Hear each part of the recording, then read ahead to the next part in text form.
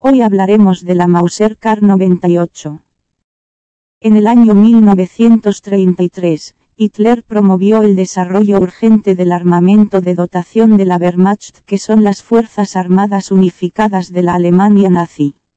Para ello, constituyó en 1934 la Erzwaffenamt, que corresponde a la Oficina para las Armas del Ejército, la cual, plantea la creación de un arma de mano universal compacta e indestructible, que fuera estándar para la infantería, la caballería y la artillería.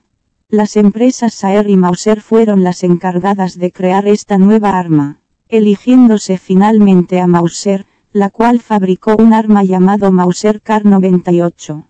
Fue considerado por muchos como el mejor rifle de la historia fue ampliamente utilizado por todas las ramas de las Fuerzas Armadas alemanas durante la Segunda Guerra Mundial. Estuvo presente en todos los frentes de las fuerzas alemanas.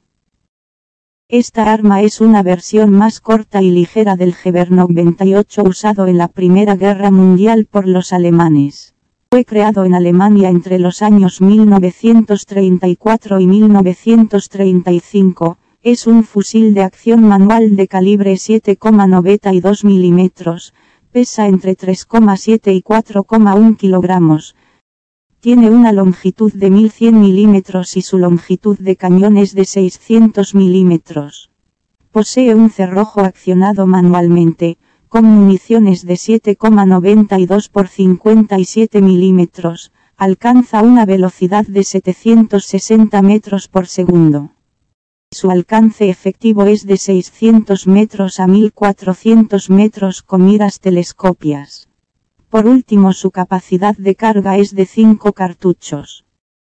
Durante la Segunda Guerra Mundial, la Unión Soviética capturó millones de fusiles de este tipo y los reacondicionó en diversas fábricas de armas a finales de la década de 1940 y principios de la década de 1950. Muchos de los países europeos continuaron la producción de fusiles parecidos al Mauser Kar 98. El Bundeswehr, que son las Fuerzas Armadas Unificadas de Alemania, aún emplea este fusil en el Bachbataillon, que es el batallón de guardia del Ministerio de Defensa, para desfiles militares y recepciones.